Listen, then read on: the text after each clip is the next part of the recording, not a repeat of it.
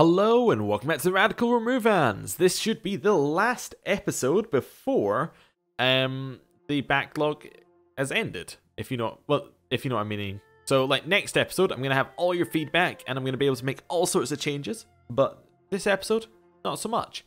However, we have just got a border with the Byzantines, and look what just happened. There's a Byzantine revolt.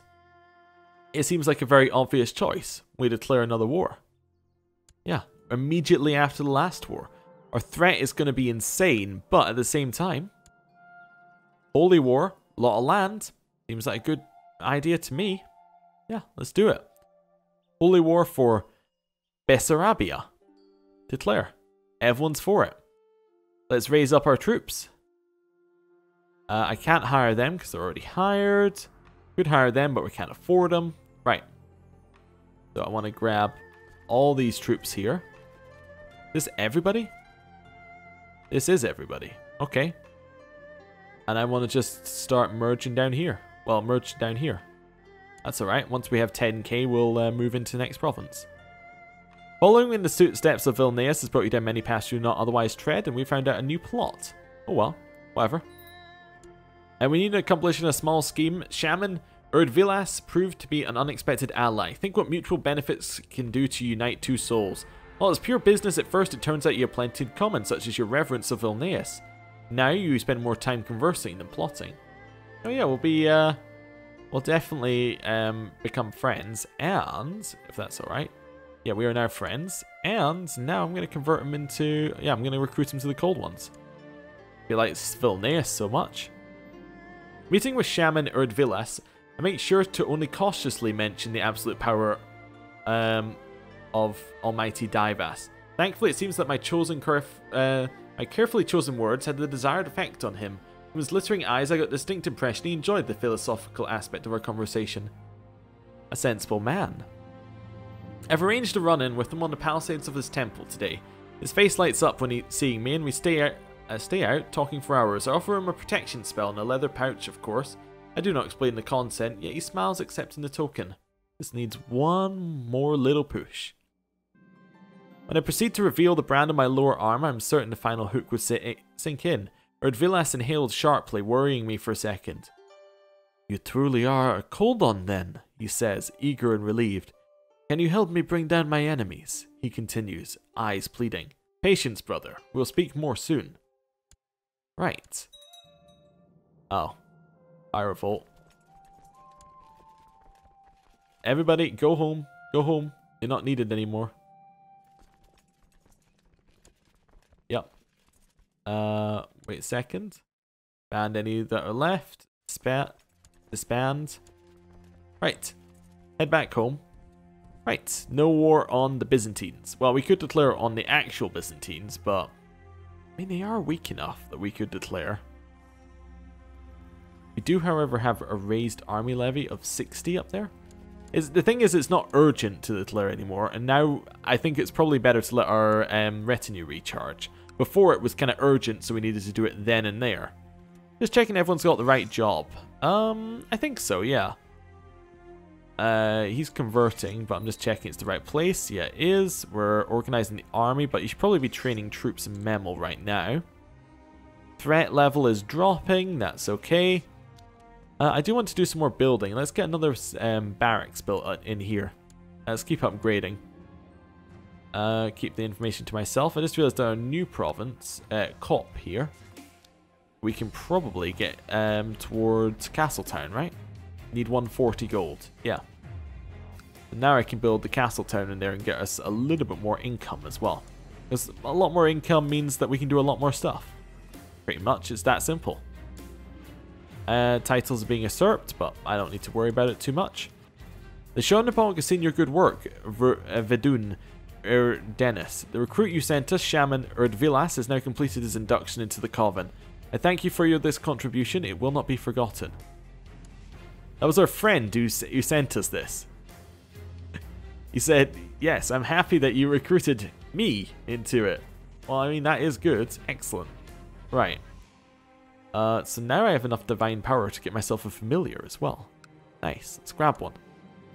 As Vidun and Weaver of the Koldovos, Cold Koldov's foe. I can summon any. I can summon a supernatural beast to be my companion. This familiar will be my eyes and ears as well as imbue me with its powers. So do I want cat, wolf, owl, or raven?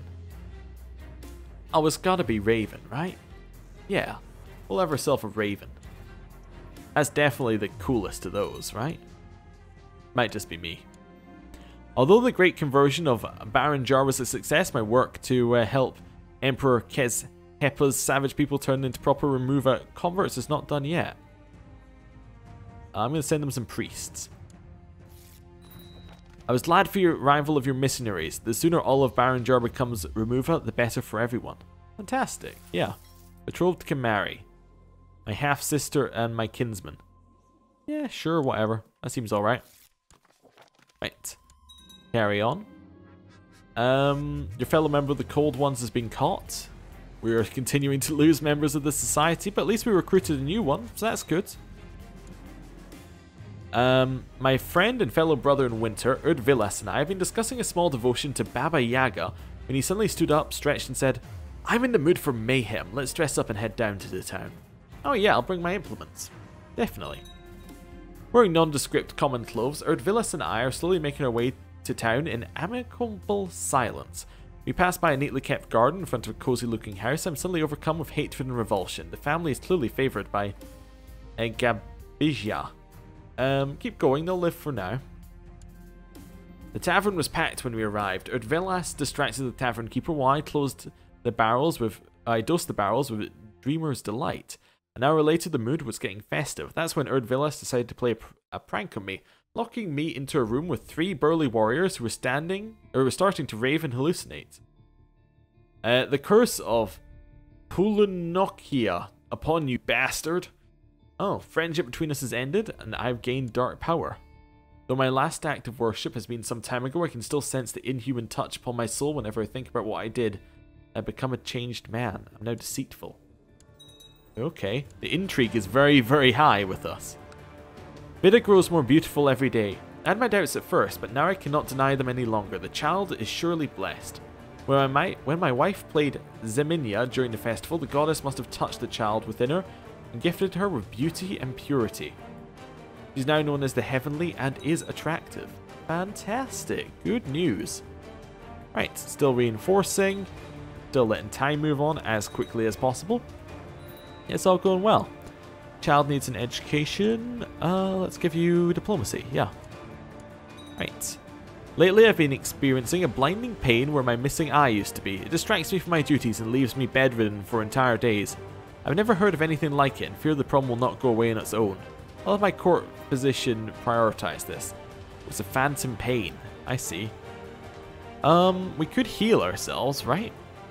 We do have dark healing. Let's heal ourselves. Though I may suffer for now no earthly ailments beyond the power of Chernobog, I am preparing a great ritual to cleanse my body and become like new. Chernobog may take, Chernobog may give.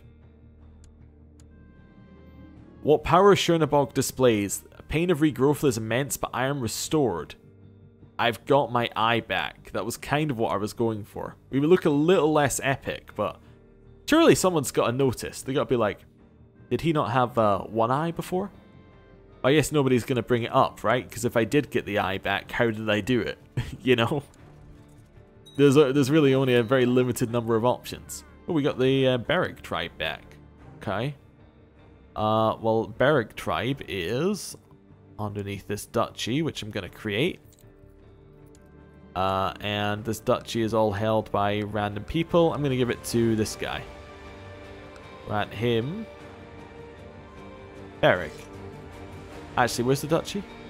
To Ungvar. Yeah, include lower titles. Perfect. Oh, he already had he held land up here as well. Oh, I shouldn't have given him that, but he is my nephew, so you know, that's fine. Uh, all right, yeah, yeah, that's fun. He can have that land. I'm not overly worried about it. Right, continue building. Uh, oh, we should build more in Coop if we can as well. Uh, next castle town needs us to have castle walls 1. Well, I'll build castle walls 1 then. Uh, I'm as I'm beating a rabid dog in the yard, the little cur Vida runs up and starts hitting me with a stick. How weak. How adorable. Yes, yes, yes. Uh, just the other day, skulking as I often do, I caught Chief Romantis and my niece Aldona in flagrant. Ooh, give me some money. We need a new advisor. New advisor is going to be the King of Vladimir. And we also need uh, a new commander. New commander is going to be... Um...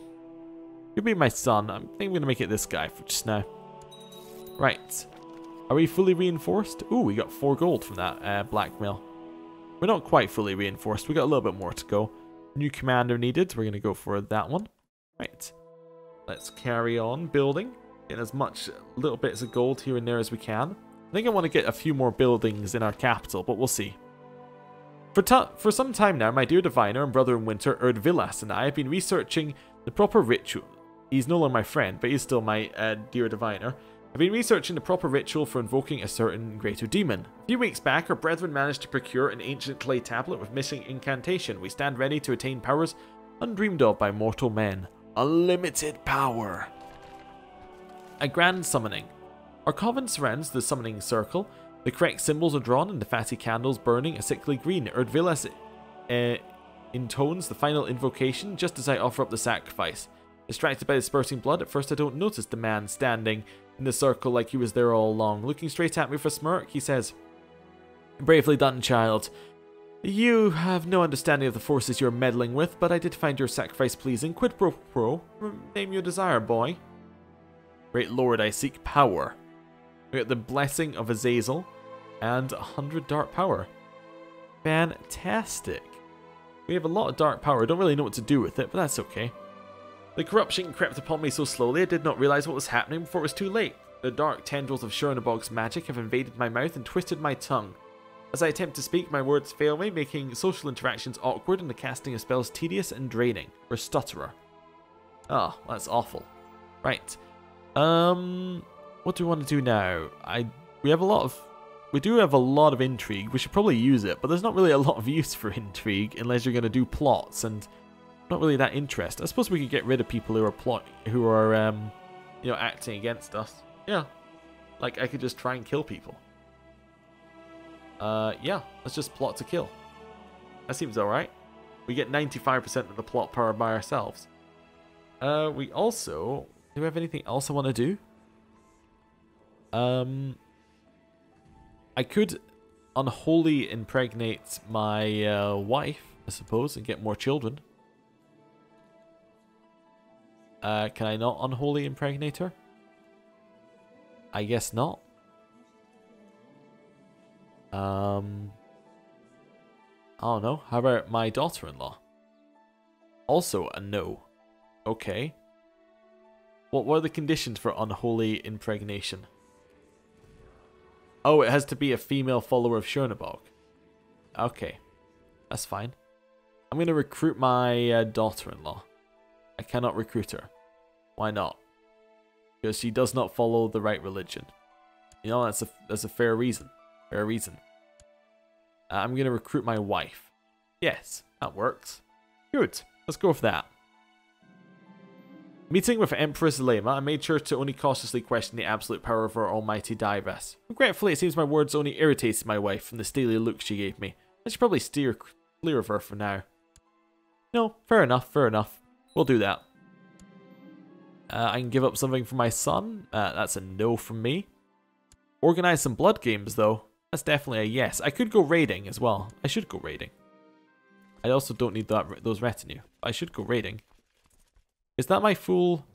That's my full retinue? That's not been reinforcing properly. Oh, okay. Well, we'll move them over here. It's probably because they keep taking attrition or something stupid. Oh, the person who fought in the previous Blood Games is going to fight in this one as well. Oh, fantastic. Because I'm deceitful, I can poison his weapons, but because I'm a mystic, I'm going to give him another 20 personal combat skill. There are many legends about the great man whose blood I share. A particular story has been circling at court lately. It focuses on an epic feat where Vanius proves his strength of character. Do you want to be Roth? Yeah, I'll be Roth. Alright. He has defeated round one, and he has won the tournament again. He is two-time Blood Tournament champion. Oh, wow. He is definitely the chosen one. Okay. There might have been a time when the sight of blood unsettled me, or when the wailing of a child could make my dagger quake and fill with dread. But not any longer. The gods have granted me the fortitude to perform their sacred work. So I'm a Hemophant, and... What's this one? That's just we sacrificed them. Okay, so I guess we sacrificed everyone else who was in the um, tournament. How many have we sacrificed right so far? That's the wrong one. 40. That's pretty good. Following in the footsteps of Velnias, we found out a plot about this guy. Okay, that's fine. Ooh, we converted the majority of the population to our religion. Nice. Uh, right, convert the next one. Okay, carry on, carry on. My co-conspirators procured a poisonous viper that will soon dig its fangs into Chief Lutaverus. Uh, we have a kin... Uh, yeah, we have a new kinswoman, Danila. That's okay. Failure. She, he managed to evade the snake, and the guards caught the serpent as it tried to slither away. The seller was identified and revealed my complicity. Oh, okay. That's not great. Uh, ooh. Another person in our um, society's been caught. And we finished building castle walls and coop, which I think means that we can now build, yeah, another castle town. Nice. Couple buildings about to finish, get us a little bit more troops. Great news, great news. Uh, oh, we another member of the Cold Ones has disappeared. Uh, okay, we still have a fair number, but actually there are quite a lot imprisoned, aren't there? Uh, I'm gonna do... Oh wait, is this vassal actually in any factions? He is, fantastic. Well, we're just going to force him out.